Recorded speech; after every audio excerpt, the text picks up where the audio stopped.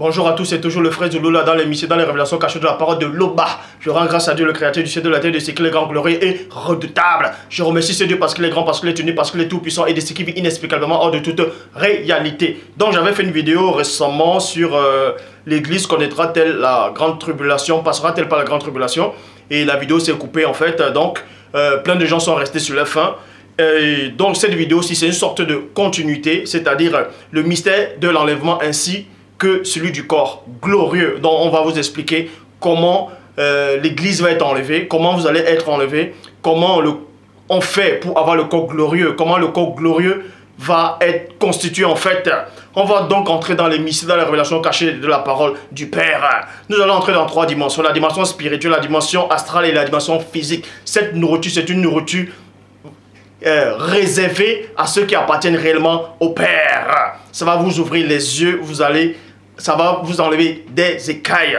Parce qu'il est dit dans Proverbe 19, 2 que le manque de science n'est bon pour personne. Et dans Proverbe 25, 2, la gloire de Dieu est de cacher des choses et la gloire des rois est de sonder des choses. Et encore dans Deutéronome 29, 29, que les choses cachées sont au Père, les choses révélées sont à vous, aux créatures, sont aux humains. Néanmoins, il dit par son Esprit Saint, c'est-à-dire le monde dit Maloba dans Jérémie 33, 3, demande-moi et je te relèverai des choses cachées, des choses que tu ne sais pas. Donc, pour ça, comment on fait, premièrement, pour hériter de ce corps glorieux, avant d'hériter du corps glorieux, il faut d'abord hein, euh, être sanctifié par la parole du Père. Et ensuite, vous allez connaître le mystère de l'enlèvement. Pour ça, je vous exalte. Parce que vous savez qu'actuellement, il y a, comme je dis concernant dans mes vidéos, il y a tous ceux qui sont autoproclamés pasteur, révérend, bishop, maréchal, apôtre, prophétesse, diacre ou bishop loin de l'éternel qui n'ont aucune connaissance, aucune base spirituelle. Peu importe les religions confondues. D'autres croient à un paradis, d'autres croient à un paradis terrestre, d'autres... Euh, il existe toutes sortes de paradis dans chaque religion. Mais aujourd'hui, on va vous parler d'un mystère caché que le monde ne sait pas, que les scientifiques, les archéologues, les biblistes, tous ceux qui sont euh, autoproclamés hommes de Dieu ne savent pas.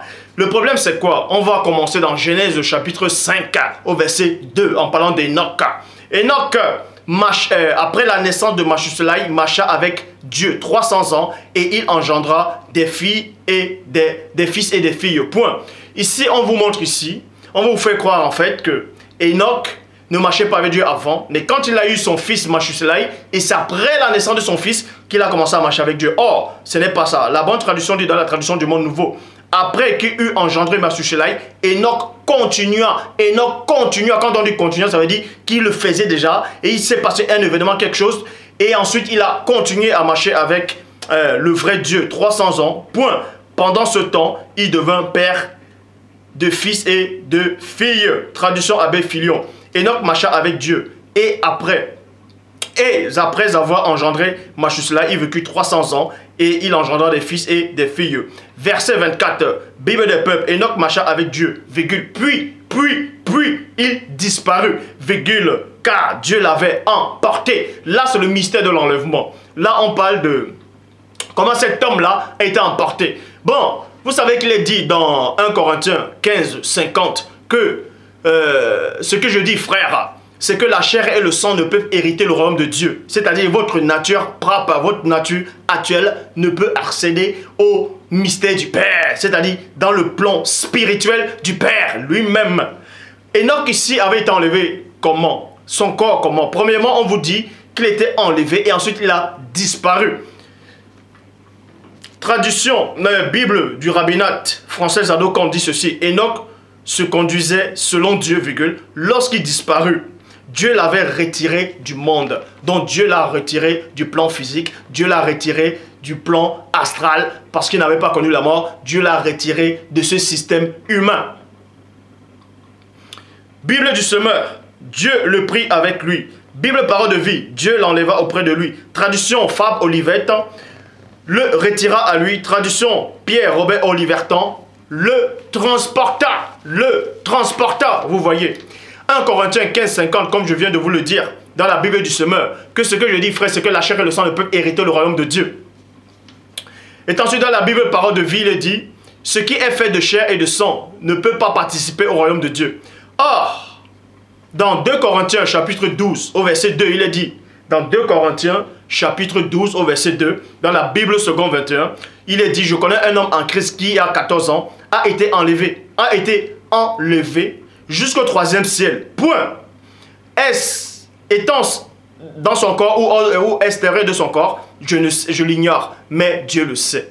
Bon, on vous dit ici là que Paul de Tarse disait qu'il connaît un homme en Christ qui fut, il y a 14 ans, ravi jusqu'au troisième siècle. C'est-à-dire, il est monté jusqu'au troisième siècle. Il ne sait pas si cet homme est, sorti, est, monté au troisième siècle, dans le plan spirituel, avec son corps physique fait de chair, de sang et d'os, ou hors de son corps. Il dit, seul Dieu le, sait. Et moi aussi, je le sais, vous voyez. Et on va vous révéler ce mystère. Bible parole de vie, je connais un disciple en Christ il y a 14 ans. Dieu l'a enlevé, cet homme, jusqu'au plus haut des cieux. Est-ce était dans son corps? Point d'interrogation. Je ne sais rien, je n'en sais rien. Est-ce ce que c'était dans son corps? Je n'en sais rien, Dieu le sait. Vous savez que Christ dit dans Jean 3,13 Personne n'est monté au ciel. Comment se fait-il alors qu'on vous dise qu'Enoch est monté au ciel et que Élie le Tishbite aussi est monté au ciel? Pour ça, on va vous révéler ce mystère. Bible français courant, personne n'est jamais monté au ciel. Proverbe chapitre 30 au verset 4. Proverbe chapitre 30 au verset 4. Nouvelle Bible second. Qui est monté au ciel? Point d'interrogation. Bible de l'épée. Qui est monté aux cieux Donc, Salomon a posé la question. Qui c'est qui est monté au ciel? Qui est monté aux cieux? Mais Salomon, forcément, avec toute la, sagesse, la connaissance qu'il avait, il devait forcément connaître l'histoire d'Enoch, euh, oui, l'histoire d'Enoch qui était monté soit au ciel, soit aux cieux. Mais il vient plus tard, des années plus tard, il pose la question, qui c'est qui est monté au ciel? Qui c'est qui est monté aux cieux, selon d'autres versions? Dans Hébreu chapitre 11, au verset 5, dans la Bible de l'Épée, il est dit, par la foi, Enoch fut transporté au ciel pour qu'il ne, euh, ne vit point la mort, et on le trouva plus parce que Dieu l'avait saisi car avant qu'il fût transporté, avant qu'il fût transposé plutôt, il avait obtenu le témoignage d'avoir été agréable à Dieu. Donc, pour participer à l'enlèvement, pour hériter du corps glorieux, pour euh, entrer dans le paradis, pour voir le Père plus tard, il faut premièrement avoir un bon témoignage qui vient du Père. Et non le témoignage qui vient de ta maman. Et non le témoignage qui vient des, hommes du dehors. Non Même si on vous le dit, même si on veut vous faire croire que si les gens du dehors vous disent, ah, celui-là c'est un homme de Dieu, toi tu marches bien avec Dieu, que forcément tu es réellement avec Dieu. Non On vous dit cela, qu'Enoch a reçu l'approbation du Tout-Puissant, du Divin Père. Qu'il était agréable à Dieu. Et non agréable aux hommes. Et non agréable à ce faux pasteur-là. Mais agréable à Dieu. La question que vous devez vous poser premièrement maintenant, c'est quoi? On vous dit qu'Enoch est monté. Et Christ dit dans Jean 3,13, personne n'est monté au ciel. Si Enoch n'est pas monté au ciel, ça dit qu'il n'a pas pu écrire son livre. S'il n'a pas pu écrire son livre, pourquoi donc dans Jude chapitre 1 verset 14, dans la Bible de l'épée, il est dit ceci, c'est sur eux qu'Enoch le septième homme, c'est-à-dire le septième patriarche, a prophétisé dans ses écrits en disant deux voici le Seigneur est venu avec ses saints myriades. Jude qui était le frère du Seigneur, forcément il avait le Saint-Esprit. Et on sait que le Saint-Esprit ne ment pas. Et Jude a témoigné sur, c'est-à-dire il a cité le livre d'Enoch. En citant ce livre d'Enoch, il s'est appuyé sur ce livre, sur cette prophétie. Mais dont il confirme ce livre-là. Il rend témoignage que la prophétie d'Enoch était vraie. Et Enoch, comment il a fait pour avoir cette prophétie? Comment il a fait pour écrire dans ses écrits? Forcément, il a une expérience spirituelle. Pour écrire, il a, il était enlevé hors de ce plan physique pour, c'est-à-dire exactement comme Jean a lu de Patmos. Pour écrire l'Apocalypse, il a fallu qu'il sorte du plan humain, qu'il sorte de son corps et qu'il fût ravi au jour du Seigneur. Et ensuite, il allait dans le plan spirituel. Enoch aussi fait exactement la même chose. Mais Christ dit néanmoins dans Jean 3.13, Jean 3.13, personne n'est monté au ciel. Personne n'est monté au ciel. Remarquez que Christ n'a pas dit que personne n'est monté aux cieux, mais plutôt au ciel. Si vous voulez tout savoir, Enoch est monté aux cieux et non au ciel. Parce que Christ disait que personne n'est monté dans le ciel même où le Père lui-même se trouve. Parce qu'il est dit, personne n'a jamais vu Dieu. Dans Jean 1, 18, Personne n'a jamais vu Dieu. Or, dans les livres d'Enoch, dans les, versions des livres d'Enoch qu'on a traduit actuellement là, qu'on a remodifié, ils disent que Enoch a vu Dieu lui-même, il a parlé avec Dieu, tout ça là. Et ça c'est faux. Enoch, certes, il a eu des expériences. Il existe plusieurs sortes de livres d'Enoch. Au moins plus de, plus de 13 versions des livres d'Enoch. C'est-à-dire où, où Enoch parle en fait. Et faites très attention quand vous cherchez à, à lire le livre d'Enoch. Faites très attention. Parce que la plume mensonger du script dans Jérémie 8, 8, 7 mis à l'œuvre, ils ont tout modifié. Donc il faut avoir l'esprit du Père, l'approbation du Père pour vous permettre de lire tel livre ou pas. Donc Enoch a bien écrit les prophéties et il, a, il est bien sorti, c'est-à-dire de son corps, il allait dans le plan spirituel, mais dans, euh, dans les cieux et non dans le ciel où le Père lui-même se trouve. Donc, et plus tard, Enoch a été enlevé. Enoch a été enlevé de quelle manière Puisque Paul vous dit dans 1 euh, Corinthiens 15, euh, 50, ce que je dis, frère, c'est que la chair et le sang ne peuvent accéder au royaume de Dieu. Donc Enoch, quand il était enlevé, quand il était transporté, quand le Père Tout-Puissant l'a enlevé, Enoch, vous allez comprendre qu'il a hérité d'un corps glorieux. Mais il n'est pas entré dans le paradis. Il a néanmoins hérité d'un corps glorieux. Pour aller dans le ciel, il faut être un esprit.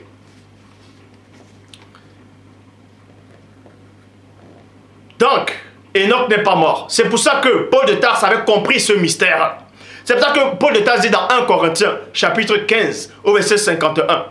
Voici, je vous dis un mystère. Nous ne mourrons pas tous, mais tous nous serons euh, transformés. Enoch a été transformé, c'est-à-dire, c'était le mystère de l'enlèvement. On vous montre un petit aperçu de l'enlèvement, en fait. Bible des peuples, euh, verset 52. Lorsque sonnera la trompette finale, ce sera la fin d'un instant, euh, juste un clin d'œil. Quand sonnera la trompette, les morts ressusciteront dans un état définitif et nous serons transformés. Et nous serons transformés. 1 Corinthiens chapitre 15 au verset 35. Bible parole de vie. Mais quelqu'un peut demander comment les morts se réveillent-ils? Quelle sorte de corps vont-ils avoir? Parce qu'il est dit dans Genèse 3, verset 19, tu es poussé, tu retourneras dans la poussière.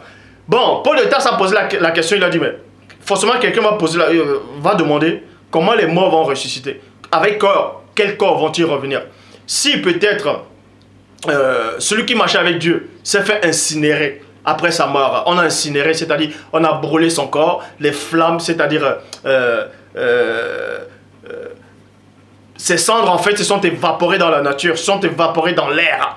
Et vous ne voyez plus les cendres, vous ne voyez plus ces cendres, peut-être deux, trois jours après, vous ne voyez plus ces cendres. Mais vous ne devez pas ignorer c'est quoi? Ce que l'esprit voit tout. Donc ce qui est perdu pour l'œil humain n'est pas perdu pour le plan spirituel. Donc si quelqu'un se fait incinérer, si un animal mange un homme, c'est-à-dire je prends l'exemple, un animal qui mange peut-être euh, un anaconda qui avale euh, un homme, et ensuite il le, il le broie complètement, il avale ou un animal mange un homme. Euh, après, il fait ressortir les excréments. Et les, les excréments aussi, ça, c'est-à-dire ça se décompose, vous voyez, ça va se décomposer. Et plus tard, au jour de la résurrection, cet homme-là qui avait marché avec Dieu, s'il a été incinéré ou bien s'il a explosé, s'ils sont tués dans une explosion et que tout son corps a été euh, déchiqueté, tout son corps a été euh, dissous si vous voulez, cet homme va, revenir comment? Est-ce que Dieu va créer un nouveau corps Ou bien c'est le même corps que Dieu va utiliser Pour ça, on va, vous expliquer ces choses. Je suis là pour ça. Daniel chapitre 12 au verset 2. Et plusieurs de ceux qui dorment dans la poussière de la terre se réveilleront les uns pour la vie éternelle, les autres pour l'opprobre et pour la honte éternelle. Pour la honte éternelle. Pour ça, on va vous expliquer déjà le mystère de la résurrection. Comment ça va se produire et ensuite, quand euh, ceux qui vont avoir le corps glorieux, comment ça va être en fait Dans Marc chapitre 12 au verset 25, Marc chapitre 12 au verset 25 dit En effet, à la résurrection, les hommes et les femmes ne se marieront pas, mais ils seront comme les anges dans le ciel. Vous devez comprendre ici, quand on dit, quand Christ dit qu'au jour de la résurrection, les hommes et les femmes ne se marieront pas, ils seront comme les anges dans le ciel. On ne s'adresse pas à tous les hommes, on s'adresse pas à tous les hommes. Ici, là, on s'adresse uniquement là, là, à ceux qui marchent au, avec le Père. Christ donne un petit aperçu euh, qu'au jour de la résurrection, ceux qui marchent avec lui auront un corps glorieux, donc ils seront semblables aux anges. Bible des peuples, ils seront comme, ils seront dans les cieux, semblables aux anges. Bible du semeur, ils vivront comme les anges qui sont dans le ciel. Bible parole de vie, mais ils seront comme les anges auprès de Dieu. Et les anges sont comment? Les anges ont des corps glorieux. Parce que quand vous lisez d'Apocalypse, chapitre 19 au verset 17, il est dit ceci. Et je vis un ange qui se tenait dans le soleil. Point.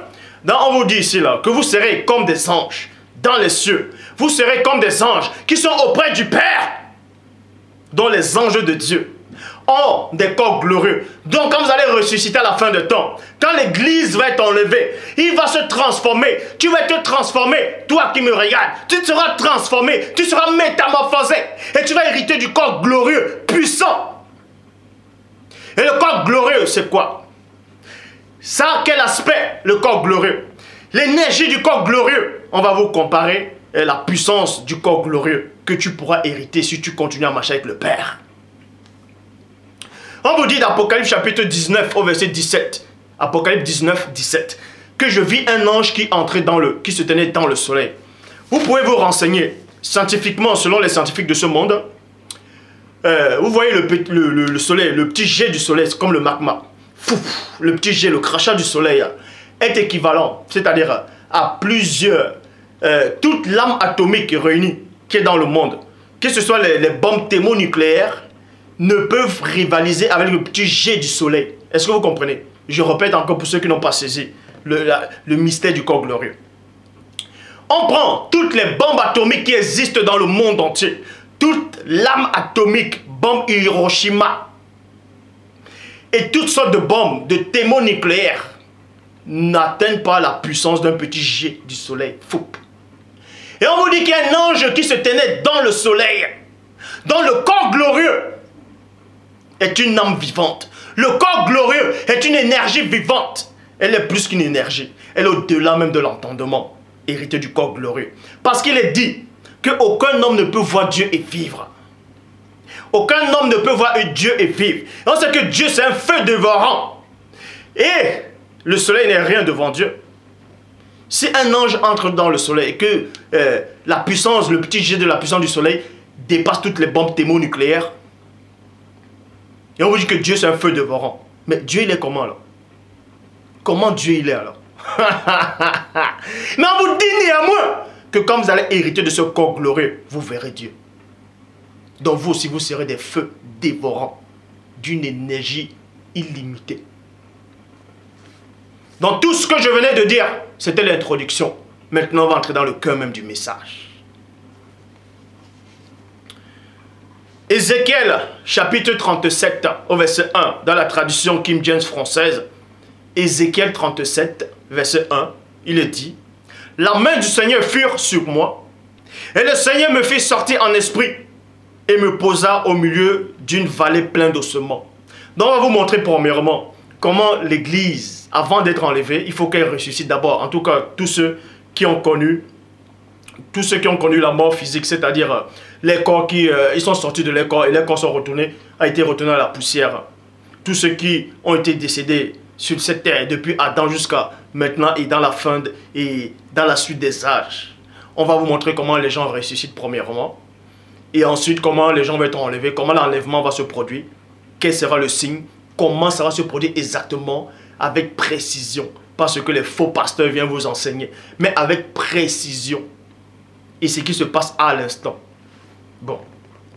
Ézéchiel chapitre 37 au verset 1, tradition Kim James française. La main du Seigneur fut sur moi, là, et le Seigneur me fit sortir en esprit et me posa au milieu d'une grande vallée pleine d'ossements. Bible en français courant, la puissance du Seigneur me saisit. Son esprit, c'est-à-dire le Mundimaloba, m'amena et me déposa dans une large vallée couverte d'ossements verset 2 à 3. Il me fit, il me fit passer auprès d'eux, tout autour, et voici, ils étaient fort nombreux à la surface de la vallée, et ils étaient complètement secs. Donc vous dites là que c'était des squelettes, il est sorti de son corps. Exactement comme Jean Ali de Patmos. Donc, quand vous avez des visions divines, quand vous voyez des anges, c'est-à-dire quand vous allez, vous sortez de votre corps pour voir des anges, vous sortez en esprit. Vous sortez en esprit. De même qu'il y a trois êtres, l'âme, euh, l'esprit, l'âme et le corps. Ici, là, vous me voyez. Vous voyez? Vous me voyez là, là, physiquement. Vous mangez, vous avez sommeil, vous dormez, vous allez travailler. Vous voyez? Parce que votre âme est à c'est-à-dire un un avec votre corps, dont vous devenez chair. De même que Adam, au début, était une âme vivante. Et quand il a péché, il est devenu physique. Il est devenu complètement physique, chair. C'est pour ça que Dieu a dit, l'homme n'est que chair. L'homme n'est que chair. Parce qu'il a péché et l'homme est devenu que chair. Alors qu'avant le péché d'Adam, il était une âme vivante. Donc, vous êtes là, là. Voici votre âme. Quand vous devenez un là, là, vous pouvez me voir, vous voyez le plan physique, vous pouvez toucher, vous pouvez manger, vous pouvez vous habiller avec les habits physiques. Et maintenant, quand Dieu vous transporte pour voir le monde spirituel, pour euh, comprendre les mystères de l'au-delà, vous quittez de cet état-là, vous revenez là, là, vous devenez un avec votre esprit et vous sortez du corps. Et quand vous sortez du corps, vous n'êtes pas mort. Parce qu'il y a toujours un lien qui relie votre âme et votre corps. Ça s'appelle le cordon d'argent. Et Salomon parle de ça. Ce n'est pas de la sorcellerie, c'est le cordon d'argent. Donc, là, là, vous sortez de votre corps et vous, à votre esprit, c'est-à-dire votre âme entre dans votre esprit et vous sortez. Et c'est votre esprit quand dans le monde spirituel, il voit les anges, il voit l'au-delà, il voit le paradis, il voit des, révélations qui vont arriver plus tard, ce qui arrive et ce qui arrive, ce qui est arrivé dans l'ancien euh, dans, dans, dans temps. Exactement comme la mort, quand vous mourrez, vous voyez, l'esprit retourne dans le plan spirituel à Dieu, l'âme va dans le séjour des morts, c'est-à-dire pour ceux qui ne connaissent pas Dieu, l'âme va dans le séjour, l'âme va en fait, euh, l'âme s'éteint. Vous voyez, quand il dit l'âme s'éteint, vous n'êtes plus conscient. En tout cas, ceux qui ne connaissent pas Dieu, ils ne sont plus conscients, mais ceux qui connaissent Dieu sont conscients, ils sont dans un lieu. Et votre corps retourne dans la poussière. Et tous ceux-là qui viennent dire qu'ils ont, ils ont prié, les enfants ont ressuscité, tous ceux qui disent qu'ils sont morts, ils sont revenus à la vie, ce sont des menteurs. Ça s'appelle EMI, expérience de mort imminente. Donc si quelqu'un vient vous donner un témoignage, il vous dit euh, qu'il était mort, euh, il, son corps décomposé, il a ressuscité, qu'il a vu le Christ, il a vu deux anges, que ce Christ s'appelait JC, et qu'il a vu l'enfer, il a vu les gens qui souffrent en enfer. C'est un menteur, c'est un menteur. Souvenez-vous, quand Christ a ressuscité Lazare, Lazare était déjà il sentait déjà dans son corps décomposé. Quand vous sentez, quand vous le cadavre déjà, quand le cadavre sent déjà, ça dit qu'il est déjà décomposé à l'intérieur et l'extérieur. Il avait déjà des plaies. C'est ça qu'on avait bandé Lazare. Et quand Christ a dit Lazare sort, le corps de Lazare a été reconstitué. L'âme de Lazare, les anges ont ramené euh, l'âme de Lazare. Vous voyez, on a escorté Lazare. On l'a fait introduire dans son corps. Et Dieu a envoyé l'esprit pas les ophanimes. Parce que ce sont les ophanimes, ce sont des roues d'Ézéchiel. Dans Ézéchiel qui porte des esprits, les roues sont des, des. Et Dieu maintenant envoie les ophanimes pour renvoyer votre esprit et vous fusionner. Bam Et Lazare ressort. C'est pour ça qu'on enlève ses bandes. Donc si quelqu'un portait des lunettes avant, parce que ceux qui portent des lunettes ont mal aux yeux. Quand peut-être vous avez mal aux yeux, vous portez des lunettes et vous mourrez à l'instant. Et soi-disant, un pasteur vient dire euh, il prie, prie, on vous ressuscite, et vous reportez encore des lunettes, ce sont des menteurs. Parce que quand vous ressuscitez, vos, cellules aussi vont se régénérer, donc vous n'avez plus porter des lunettes. Si vous avez une cicatrice, vous ne devez plus avoir la cicatrice. Est-ce que vous comprenez? Bref, le mystère ici, c'est quoi? C'est que Ézéchiel est sorti de son corps en esprit. Il a vu ce qui se passait. Donc il a vu des squelettes. C'était une représentation symbolique de, euh, de c'est-à-dire de comment l'église va être enlevée, comment le corps va être reconstitué. Et ça a parlé aussi d'Israël. Ézéchiel a vu des squelettes. Et les squelettes étaient desséchés. Un squelette desséché, c'est quoi? Quand tu vas taper, bam, il y aura, ça va être moisi, il y aura la poussière qui va monter. Maintenant, on va vous montrer la divine puissance du Père. Alors il me dit, fils de l'homme, penses-tu que ces eaux puissent revivre? Je répondis, Seigneur Dieu, tu le sais. Verset 4 à 5, il me dit, prophétise sur ces eaux et dis-leur, ossements desséchés, écoutez la parole du Seigneur à ces eaux. Deux points. Voici, je vais faire entrer en vous un esprit. Un esprit et vous vivrez. Et vous vivrez. Bible du semeur, je vais faire venir en vous l'esprit avec un E majuscule et vous revivrez. Et vous revivrez. On vous apprend comment ça se passe pour hériter le corps glorieux pour être enlevé. Verset 6 à 9. Bible annotée de Chaffner dit ceci. Je mettrai sur vous des muscles plutôt, je vous revertirai de chair et vous conduirez et vous euh, couvrirez de peau. Et je mettrai en vous l'esprit et vous vivrez et vous saurez que je suis l'éternel. Donc, c'est pour ça qu'il est dit dans Ecclésiastre. Je dis bien Ecclésiastre, chapitre 11 au verset 9, dans la 8 secondes 1910. Avant que la poussière retourne à la terre comme elle y était et que l'esprit retourne à Dieu qui lui a donné. Donc, au jour de la résurrection, quand la trompette va sonner, on va vous expliquer euh, le, bruit, le bruit de la trompette. Quand la trompette sonne, cette sonnerie-là, c'est une voix. On va vous expliquer ce que ça signifie, cette voix-là, ce son de la trompette. C'est une parole. On va vous expliquer ce que cette parole dit. Le bruit de la trompette, on va vous on va décortiquer, on va vous dire ce que ça dit exactement pour que la personne puisse monter. Verset 7 à 9. Et là, je suis dans Ézéchiel maintenant. Verset 7 à 9. Et je prophétisais comme j'en avais reçu l'ordre. Et comme je prophétisais, il se fit un son. Puis un bruit retentissait, virgule. Je m'arrête dans la virgule et j'entre dans les profondeurs. Donc, pour ressusciter quelqu'un, le jour de la résurrection, forcément, il faut le bruit de la trompette. De même que Lazare, quand Lazare est mort, quand la personne du premier-né a fait comprendre à ses apôtres, à ses acolytes, à ses disciples, Lazare dort. Je m'en vais le réveiller. Il a fallu. Christ n'a pas touché Lazare comme ça. Il a fallu qu'il parle. Parce que dans, on vous dit ici là, dans le verset 7 à 9, et je prophétisais comme j'avais reçu l'ordre, et comme je prophétisais, il se fit un son. Demain, comme on va vous dire le son de la trompette. Premièrement, il se fit un son, virgule, puis un bruit retentissait. Parce que quand Christ a dit Lazare, il a dit Lazare, sort. C'était un bruit. Et ce bruit-là parcouru la route du grand mystère. Allé dans le séjour des morts. Et Lazare entendait un bruit. Et le bruit là, avait des sons. Et le son c'était quoi? Lazare. Sors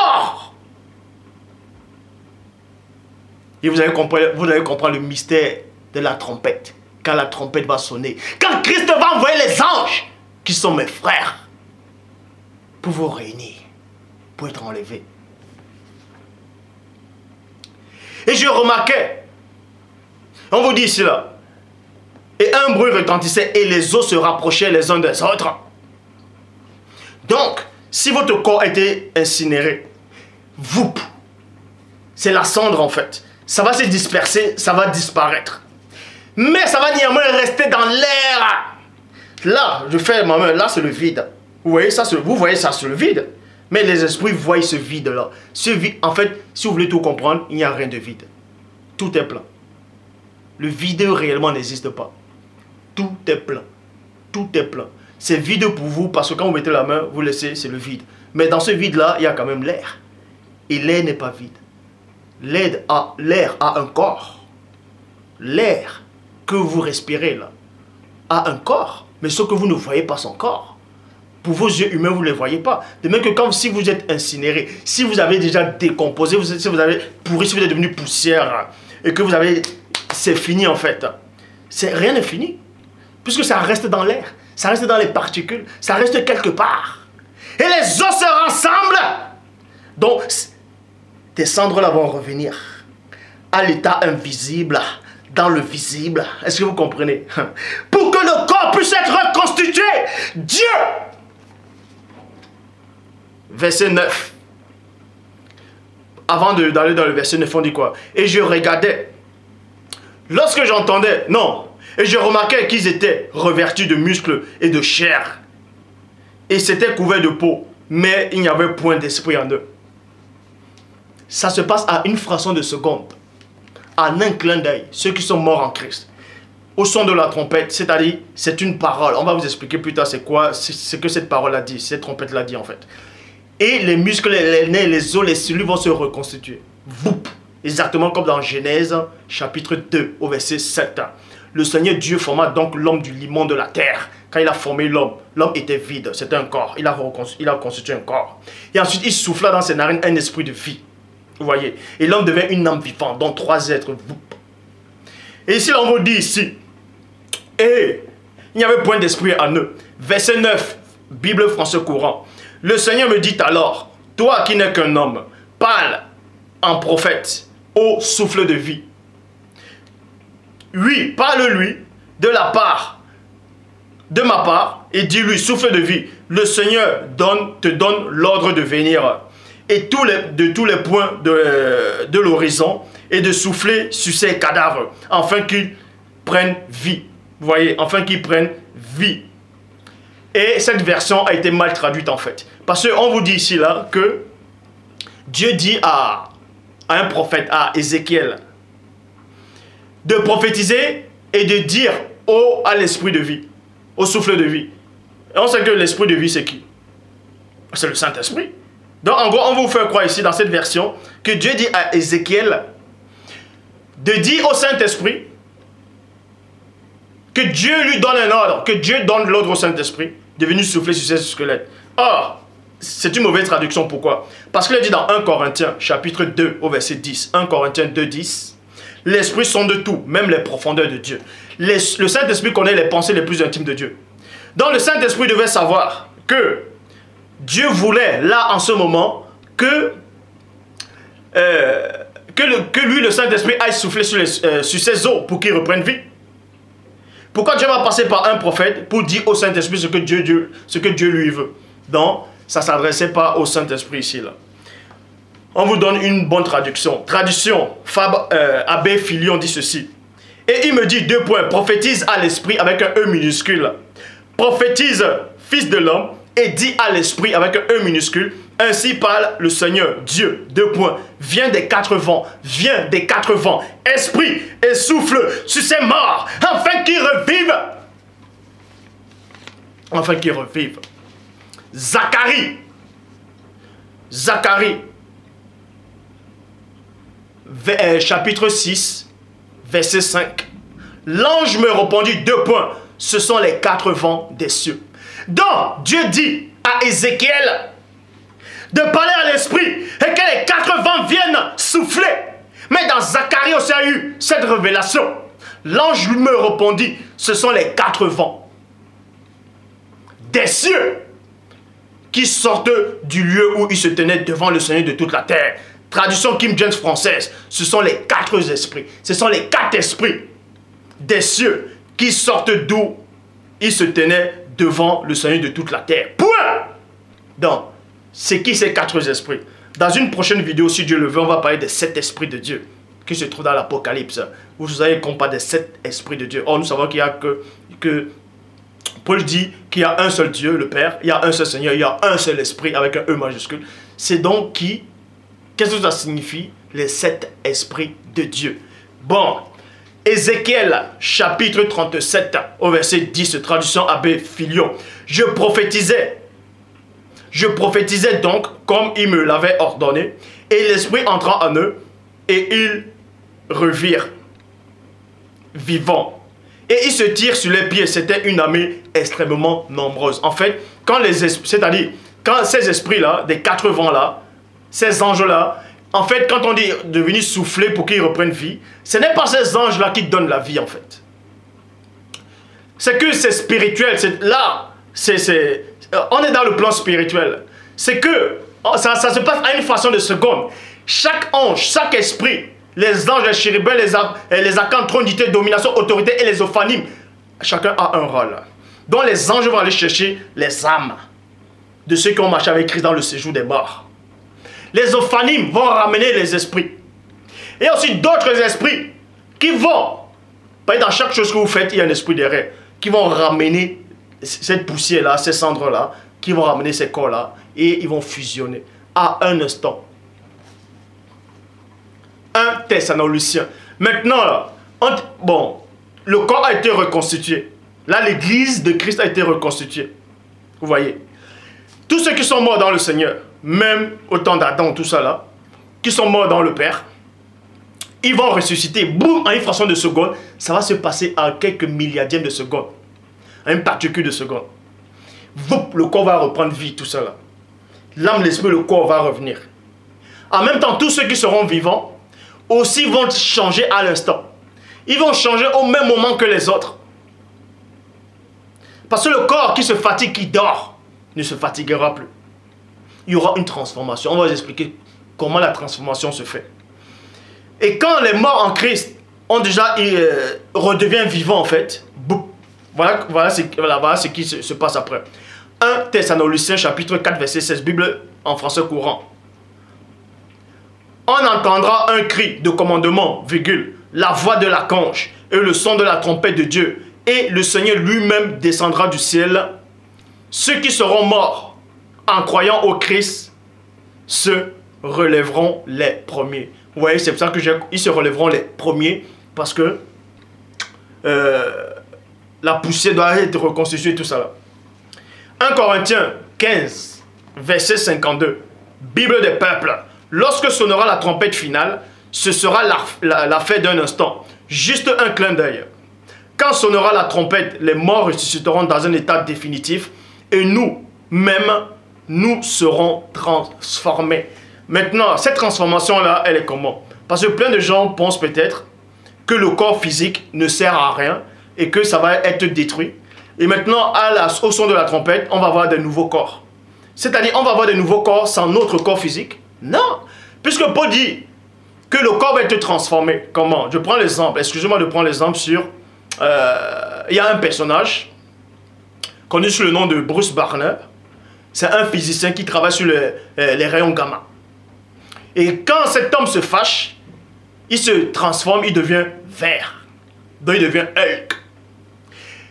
Vous devez comprendre ici que c'est le même corps, c'est-à-dire de Bruce Banner, c'est-à-dire c'est le même corps qui a juste été transformé, qui est devenu plus puissant et plus résistant en tant que vert.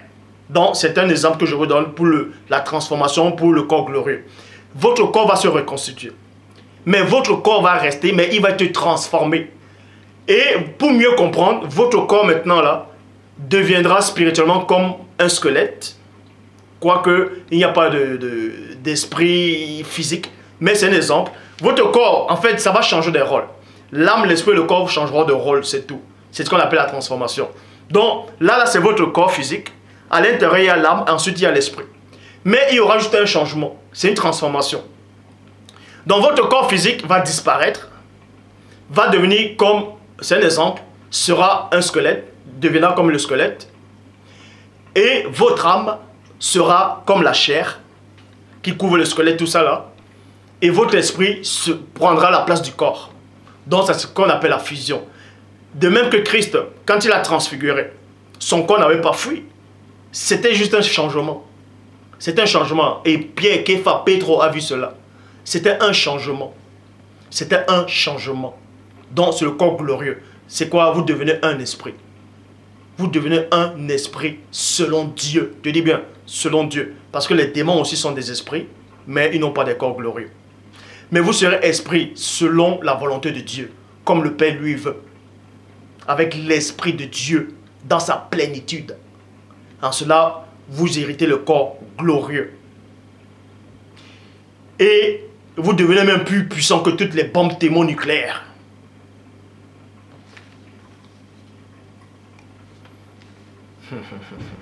Jérémie chapitre 4, verset 14.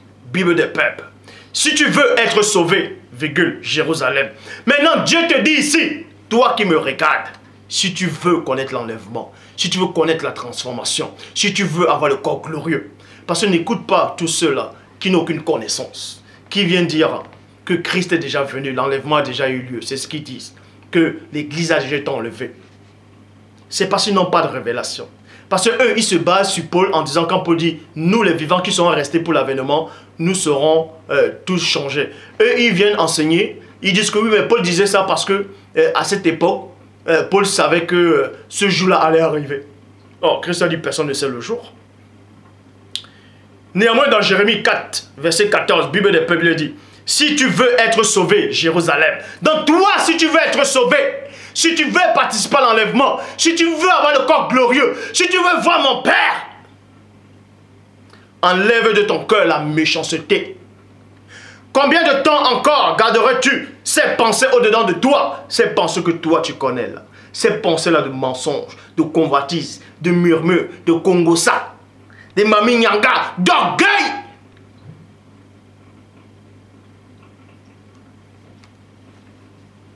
Hmm. Ésaïe 1, 16.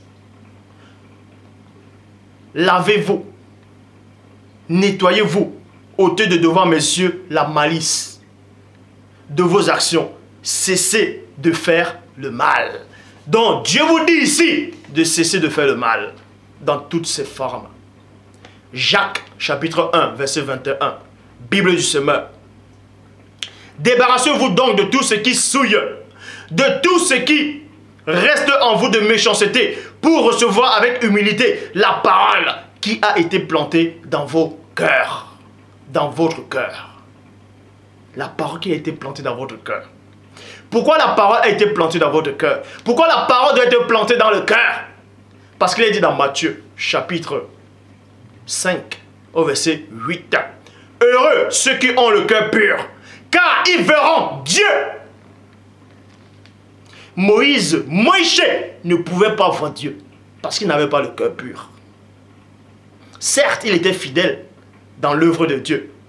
Mais le cœur pur dont on est en train de dire là, c'est la transformation totale, c'est le corps glorieux. Et on vous dit que c'est la parole qui a été plantée dans votre cœur.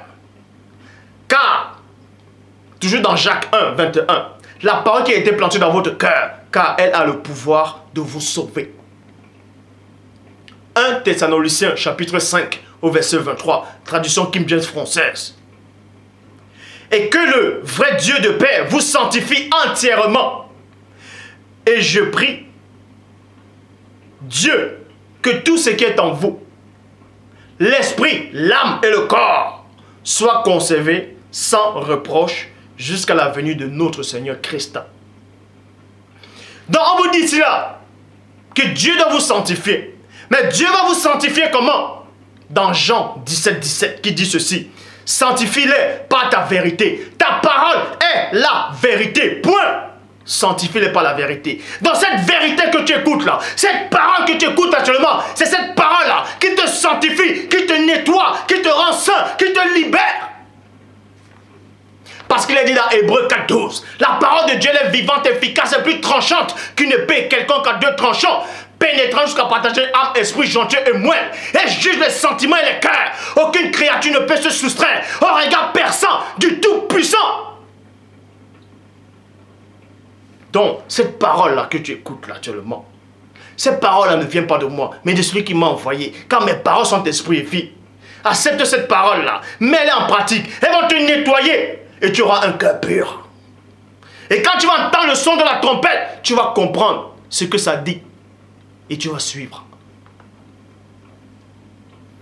Donc, dans Jean 17, 17, sanctifie-les pas ta vérité. Ta parole est la vérité. C'est pour ça qu'il est dit dans Romains chapitre 10 au verset 17, Bible euh, second 21.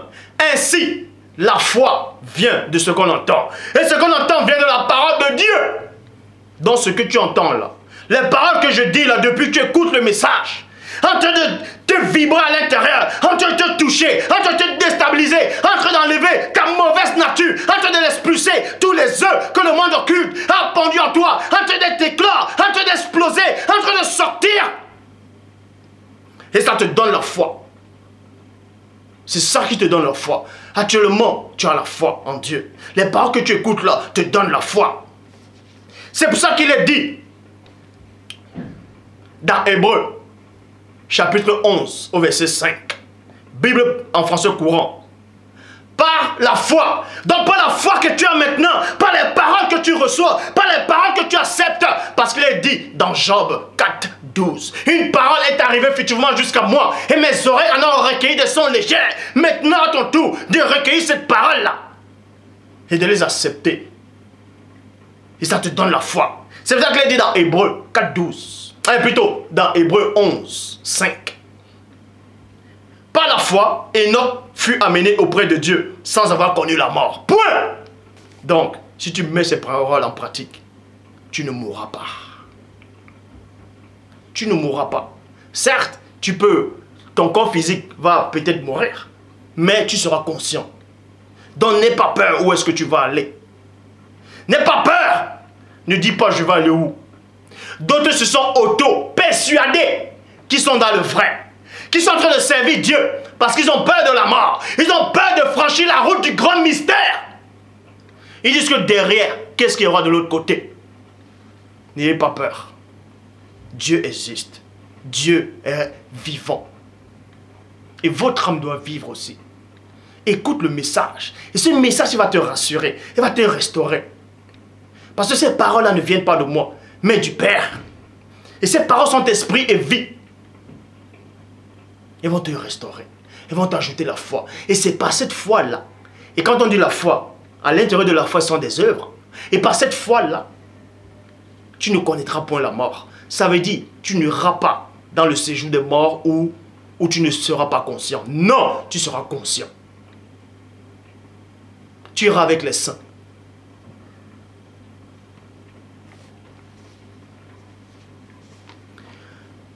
1 Corinthiens, chapitre 15, au verset 51. Bible second 21. Voici, je vous dis un mystère. Deux points. Nous ne mourrons pas tous, mais tous nous serons transformés. Vous voyez, tous nous serons transformés.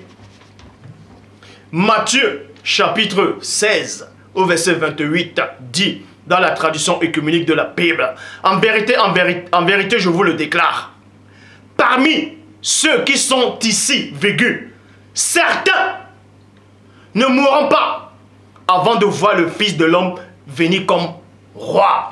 Et je vous le dis ici parmi tous ceux qui me regardent actuellement, si vous acceptez ce message, vous n'allez pas mourir. Vous ne connaîtrez pas la mort avant d'avoir vu le Fils de l'homme, avant d'avoir vu le premier-né revenir dans sa gloire. Maintenant, ceux qui n'ont aucune notion spirituelle vont lire Matthieu 16, 28. Et je le répète encore. En vérité, je vous le déclare, parmi tous ceux qui sont ici, certains ne mourront pas avant d'avoir vu le Fils de l'homme venir comme roi. D'autres disent, mais quand Christ a dit ça, mais ces gens-là, est-ce qu'ils sont encore vivants alors? Ces gens qui étaient à l'époque de Christ, Christ parlait avec eux physiquement Est-ce qu'ils étaient vivants? Non. Eh, plutôt, est-ce qu'ils sont encore vivants actuellement? Puisque Christ a dit, ils ne mourront pas sans avoir vu que Christ revienne comme roi. C'est pour ça que plein de gens, plein de théories se basent sur ça pour dire Mais Christ est revenu et ces gens l'ont vu. Non, ce sont des mensonges. Ils n'ont pas compris le mystère de la révélation. On va vous expliquer la révélation. Christ disait si comment? Jean chapitre 8 au verset 51. Jean 8, 51. En vérité, en vérité, je vous le dis, si quelqu'un garde ma parole, il ne verra jamais la mort. Vous voyez? Mais les apôtres ont gardé la parole de Christ. Puisque Christ le dit dans, la présence occidentale, ils, ont gardé la parole. Hein? Ils, ont, ils ont gardé ce que Christ a, annoncé. Plein de gens ont gardé la parole de Christ. Mais ces gens-là, ils sont plus sur la terre. Certainement, ils, sont morts physiquement. Est-ce que Christ s'est trompé? Non. Christ parlait de la mort de l'âme. Est-ce que vous comprenez? Il parlait de la mort de l'âme. Parce que la parole dit dans Ézéchiel, l'âme qui pêche, c'est elle qui mourra. Et Christ disait ici là, dans Jean 8, 51. En vérité, en vérité, je vous le dis, si quelqu'un garde ma parole, il ne verra jamais la mort. C'est pour ça qu'il dit dans Matthieu 16, 28. En vérité, je vous le déclare, parmi tous ceux qui sont ici, certains, il a dit bien, certains, pourquoi? Parce qu'il y a d'autres qui ne croyaient pas en ce que Christ allait dire. Donc certains ont cru. C'est pour ça qu'ils ne pourront pas, ils pourraient pas mourir. C'est-à-dire les âmes seront conscientes. C'est pour ça que Christ a dit à ses apôtres, Lazare n'est pas mort, mais il dort. Ça, c'est la révélation. Tradition Abbé Filion. En vérité, en non, en vérité, je vous le dis.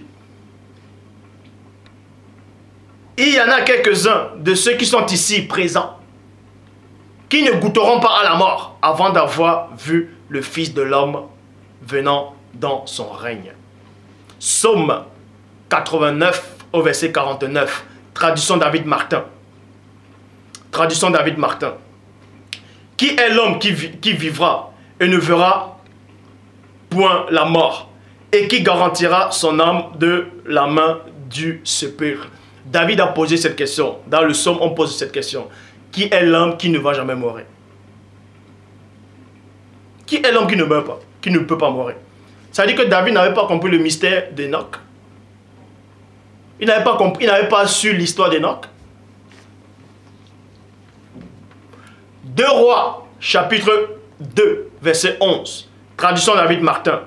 Et comme il arriva que Et il arriva que comme il marchait, en parlant, voici un chariot de feu et des chevaux de feu les séparaient les uns des autres. Et Élie monta aux cieux par un tourbillon, par un tourbillon. Vous voyez? On vous dit cela que Élie le Tishbite, il marchait avec Élisée. Donc il était fait de chair, de sang et d'os. Et tout à coup, il y a eu un bruit. Oh Dieu. Il y a eu un bruit étrange. Il avait un chariot. Un char de feu qui est arrivé. Avec des chevaux de feu. On vous dit que Dieu c'est un feu dévorant. Ils sont, ils sont venus, sont arrivés. Vous voyez? Et il est monté sur le tourbillon. Et c'était du feu qui brûlait. Et ce feu-là n'a pas brûlé Élie le Tishbite. Pourquoi? Parce qu'il est dit qu'à la fin, à la fin des temps, il y aura, néanmoins une récompense. C'est-à-dire c'est un jugement des saints. En fait, Dieu ne juge pas les, Dieu ne juge pas les saints. Dieu ne juge pas les élus, c'est-à-dire Dieu ne juge pas, va pas juger les justes. Mais il y aura néanmoins une sorte de jugement des justes. Ce n'est pas un jugement pour la colère. C'est un jugement, une sorte de récompense. Et ça va être jugé à travers du feu. On sait que Dieu, c'est un feu dévorant. Élie a été pesé sur ce feu-là, sur ce chariot-là de feu et des chevaux de feu. Il n'a pas été brûlé. Pourquoi? Élie est monté dans les cieux parce que Élie a été transformé. À cet instant, il a été transformé parce que la chair et le sang ne peuvent hériter le royaume des cieux. La chair et le sang ne peuvent pas aller dans les cieux. Est-ce que vous comprenez? De même que votre corps physique, si vous allez dans l'univers, dans l'espace, le cosmos, vous allez exploser. Vous allez exploser. Parce que votre corps est fait pour rester dans cette, atmosphère-là. Vous pouvez pas aller dans l'espace comme ça là, comme ça là, sans rien mettre. Vous allez exploser. Non seulement parce que, un d'abord, il fait froid dans l'espace. Et vous allez exploser. Donc, Élie est parti plus que de, hors de l'espace. Il pouvait parler avec son corps. Il était transformé. C'est pour ça que Dieu vous donne la révélation lors de la transfiguration. Pierre, Kéfa, Pétro a vu Moïse. Il a vu Moïse. Il a vu Élie. Qui brillait, qui rayonnait. C'était les corps glorieux. Est-ce que vous comprenez? C'était un petit aperçu en fait de ce que vous pouvez, de ce que vous devez être. La transfiguration. Bon. Et maintenant, voilà comment ça va se passer, l'enlèvement.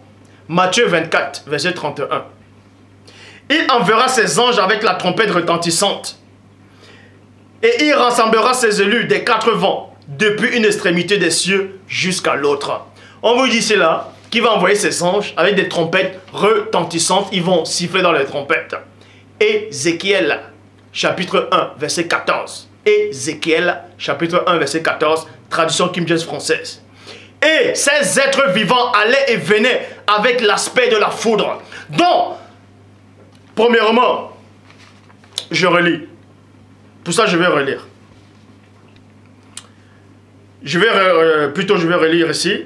Je vais d'abord relire dans Luc chapitre 17 au verset 24. Luc 17, 24. Avant d'aller dans Luc 17, 24, euh, je suis allé dans 2 Rois, chapitre 2, au verset 11. Comment Élie est monté. Et c'est exactement la même, c'est-à-dire, ça va se passer exactement la même manière, la même chose. Parce que le chariot de feu est venu à une fraction de seconde. Ça a pris Élie. Boum, ça l'a ramené. Et Élisée a vu, il a dit, mon père, mon père, la cavalerie d'Israël. Et ça a disparu. Mais le chariot a néanmoins un peu ralenti pour que Élisée puisse voir pour honorer la parole euh, d'Élie. En disant, quand tu vas me voir monter, cela sera possible. Mon manteau, tout ça. Mais s'il montait à, à, la vitesse de la lumière, et l'autre n'allait même pas voir, il n'allait même pas sûrement récupérer le, le manteau. Mais, il est dit dans Luc 17, verset 24. Luc 17, 24. Car comme l'éclair, car comme l'éclair, et le chariot de feu et les chevaux de feu sont arrivés comme l'éclair, comme la foudre.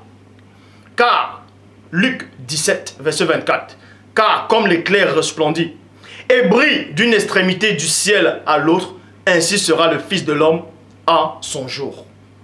Donc quand le Fils de l'homme va arriver, il va arriver à une fraction de seconde, plus que de la vitesse de la lumière. Vous, c'est ça. Oh, quand l'éclair resplendu, vous, vous voyez l'éclair. Vous êtes ici là, vous voyez ça là-bas là. Le même éclair là, vous, vous, vous le voyez là, à une vitesse de la lumière. Christ va arriver comme ça, avec les anges de la puissance. Vous, avec les anges puissants, d'une puissance incroyable. Hum. Et moi, je serai auprès du Père. je vais assister. Comment vous allez être enlevé?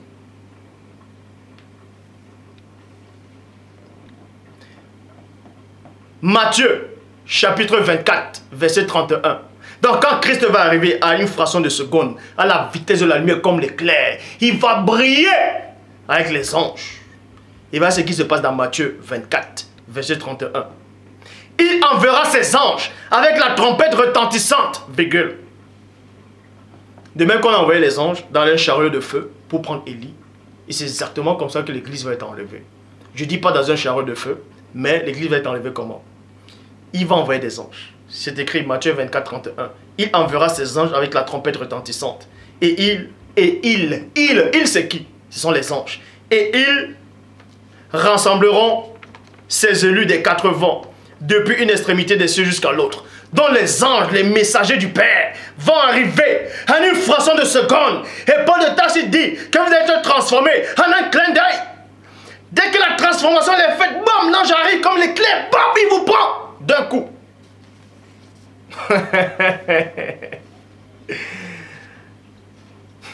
Ézéchiel chapitre 1, verset 14. Ézéchiel 1, 14. Bible, euh, traduction Kim James française. Et ces êtres vivants allaient et revenaient et venaient avec l'aspect de la foudre. Bible, parole de vie. Les êtres vivants vont et viennent aussi vite que les éclairs dont les anges vont arriver. Le monde occulte, sera en ébullition. Le, monde occulte... Ouh, oh Dieu Ces anges qui vont arriver là ont une puissance, je dis bien, terrifiante.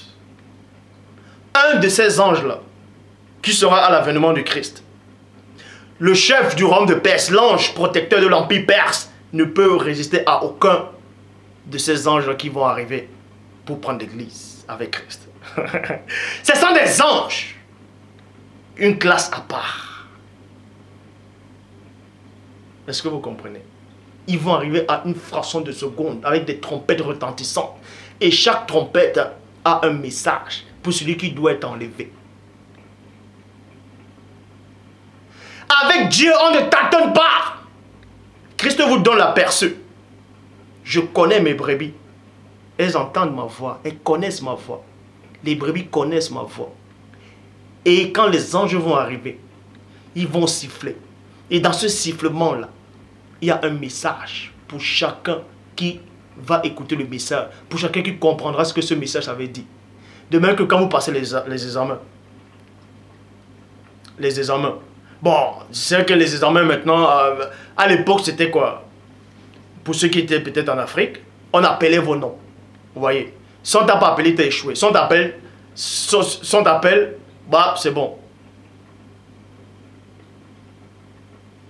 On t'appelle, boum, c'est bon. Et quand les anges vont siffler, vous, chacun va comprendre ce que ça veut dire, le son de la trompette, le message. Ça va se passer en un clin d'œil. Fou, fou, fou. À peine vous êtes sorti, même si toi, tu es là avec ta femme dans le lit conjugal, tu en te fais l'amour, tu en te couches avec elle, que vous marchez avec le Père. À cet instant-là, ce désir-là que vous ressentez va disparaître. Vous, vous allez sentir autre chose. Vous allez oublier ça à l'instant. Cette idée-là va disparaître à l'instant. Et vous allez disparaître à l'instant. C'est ce qu'on appelle la disparition. Donc, quelqu'un là, boum, il disparaît. Tu dis, hé, oh, c'est un sorcier. Non, c'est que l'ange vous a pris, on vous a téléporté à une fraction de seconde. Fou, fou.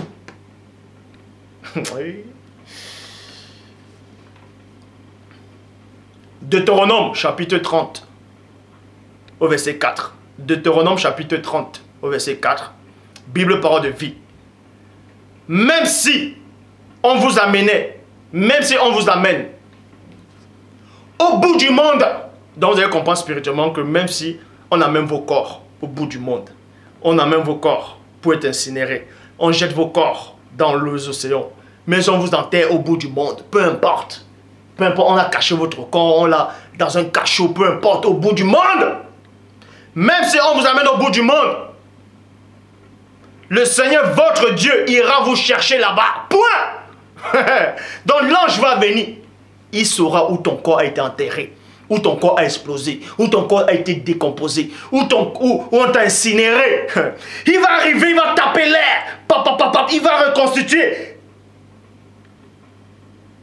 ces cendres-là comme ça. Il va reconstituer. Dieu Jean 3, 11. Nous disons ce que nous savons. Et l'on rend témoignage de ce qu'on a vu. Ésaïe 43, verset 5 à 6. Ne crains rien. Maintenant, le Père te dit ici, ne crains rien. Ne crains pas. Ne crains pas la mort. Ne crains pas la mort. Ne dis pas que quand tu vas mourir, tu vas aller. Ne crains pas que quand tu vas mourir, est-ce que tu vas ressusciter? Est-ce que tu vas hériter du corps glorieux? Est-ce que tu fais partie de l'église? Accepte juste cette parole-là. Accepte le message que l'homme, que celui que Dieu a envoyé. Accepte le message. Mets ça en pratique. Et tu vas dormir en paix. Et maintenant, la parole te dit ici, dans Ésaïe 43, verset 5 à 6. Ne crains rien, car je suis avec toi je ramènerai de l'Orient ta race, et je te rassemblerai de l'Occident. Je dirai au septentrion deux points, donne. Oh Dieu Je dirai au septentrion, donne. Et au midi, ne retiens point. Fais venir mes fils des pays lointains et mes filles de l'extrémité de la terre. Pendant l'enlèvement, comment ça se passe? Un Thessalonicien chapitre 4, au verset 17. Ensuite, nous qui serons encore en vie, dans, à cette période-là, il y aura ceux qui seront en vie, qui marchent toujours avec le Père, qui marcheront avec le Père. Nous qui serons en vie, nous serons tous ensemble enlevés avec eux sur les nuées. Les nuées sont les nuages, à la rencontre du Seigneur dans les airs, dans les airs. Vous allez avoir le pouvoir sur la pesanteur. Dans tout cela qui regarde les films de, de Superman et que vous voulez ressembler à Superman, vous voulez voler dans les airs comme Superman, Superman est faible. On lui montre la kryptonite, il, il devient comme un gamin, comme, comme un bébé. Mais quand vous allez hériter du corps glorieux, vous n'aurez plus de faiblesse. Vous allez avoir le pouvoir sur la pesanteur. Vous serez les maîtres de la pesanteur.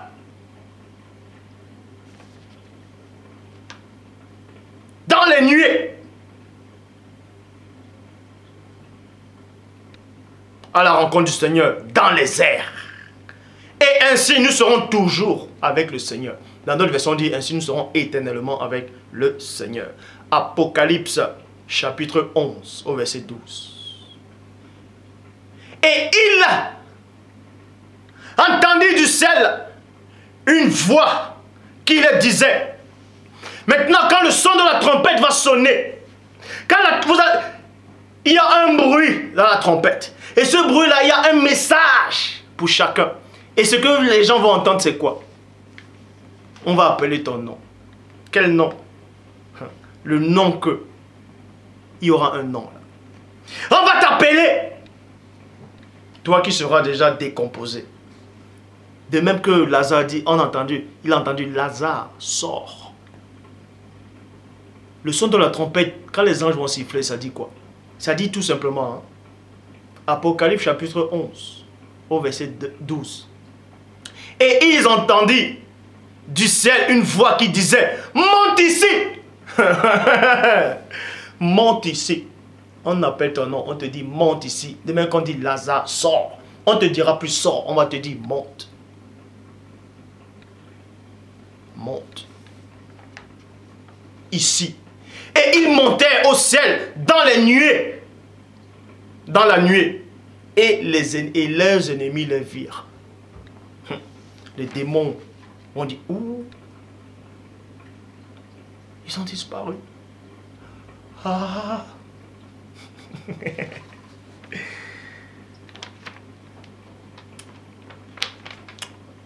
1 Thessaloniciens, chapitre 4, au verset 18.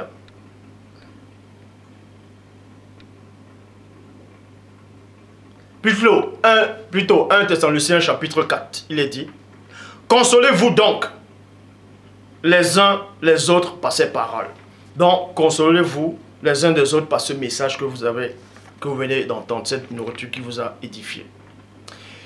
Bon, écoutons la fin du discours. Apocalypse chapitre 4. Maintenant, les gens vont dire, mais quand on va aller à la rencontre du Seigneur, qu'est-ce qui va se passer? Mais la suite des événements, qu'est-ce il y aura quoi après? Après l'enlèvement, il y a... Qu'est-ce qui va se passer après? On va aller où? Au ciel Au paradis Le règne millénaire Comment ça va se passer? Puisque les faux témoins Jéhovah disent qu'il y a 144 000 personnes qui iront au ciel. Mensonge. Il n'a aucune connaissance. 144 000 personnes au ciel. N'importe quoi. Apocalypse chapitre 4 au verset 1. Après cela, je regardais et voici, une porte était ouverte dans le ciel. Point. La première voix que j'avais entendue comme le son d'une trompette et qui me parlait dit, deux points, monte ici, monte ici. Et je te ferai voir ce qui doit arriver dans la suite. Ce qui doit arriver dans la suite. Vous voulez savoir qu'est-ce qui va arriver dans la suite? Digérez d'abord cette vidéo aussi. Que le Père soit glorifié.